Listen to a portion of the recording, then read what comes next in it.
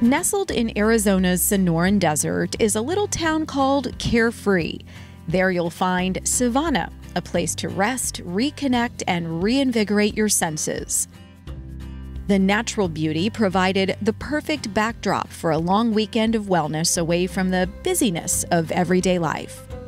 Sky for days, right? And then mountains. And I mean, it just felt, I literally felt like it sort of puts you in this mindful place as soon as I got there. Between a world class spa and delicious, nutritious food, CIVANA is a playground of well being. I did a sound bath, a gong sound bath, which was amazing. I have never done that before.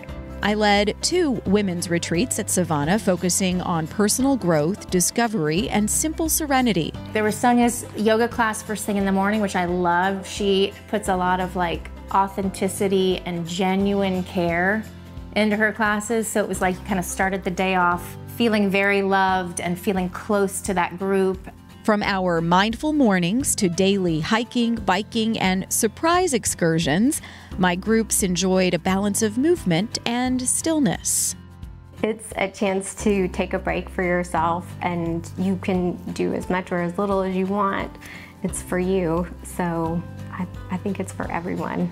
My first time retreaters say they left feeling refreshed, happy, and more deeply connected to themselves and the world around them. It's energizing, it's relaxing, and it's, it was really fun. It was really fun. Like, I really felt like it was time well spent. It was really nice. Like, I'm sold. This is going to become my, my new annual thing, treat to myself.